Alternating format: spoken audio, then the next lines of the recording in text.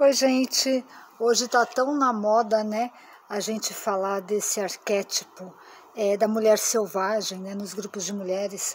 Ontem eu estava fazendo uma live com o pessoal que pratica a cura de Kuan e toda semana eu faço, tem sido um grande prazer nessa pandemia, né?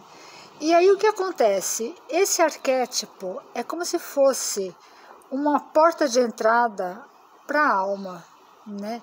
Ele vem muito antes, é, uma, é da, da, psicologia, enfim, é um arquétipo milenar, desde o começo da humanidade. Né?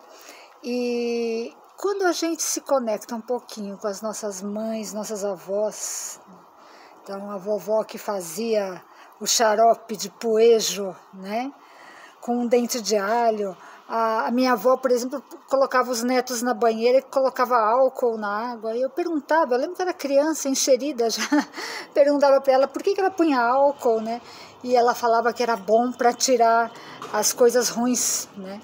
Então é muito gostoso a gente ter essa, essa lembrança, essa memória. Né? E é, quando a gente pensa na deusa, em todas as deusas, né? o arquétipo da grande mãe, né? É, se a gente for ver a Kuan né, que é a deusa que a gente vai ter o curso do Reiki da Grande Mãe, a cura de Kuan agora dia 26. Né?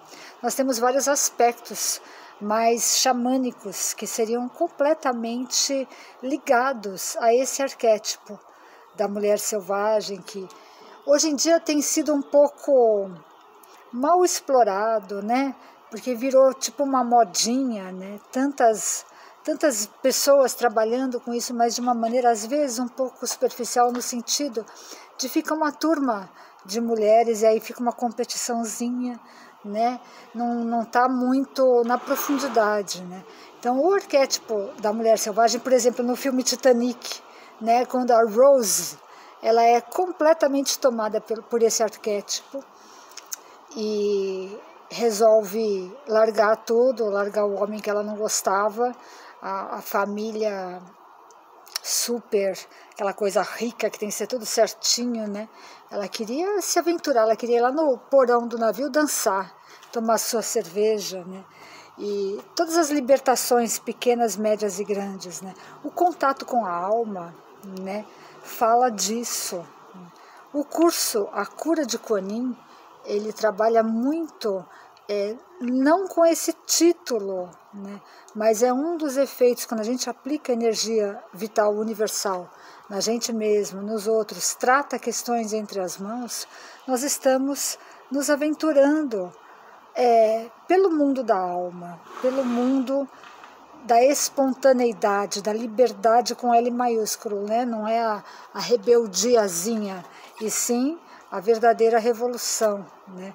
que é como Milton Nascimento fala na música Raça, é, que a luta é sempre comigo, né?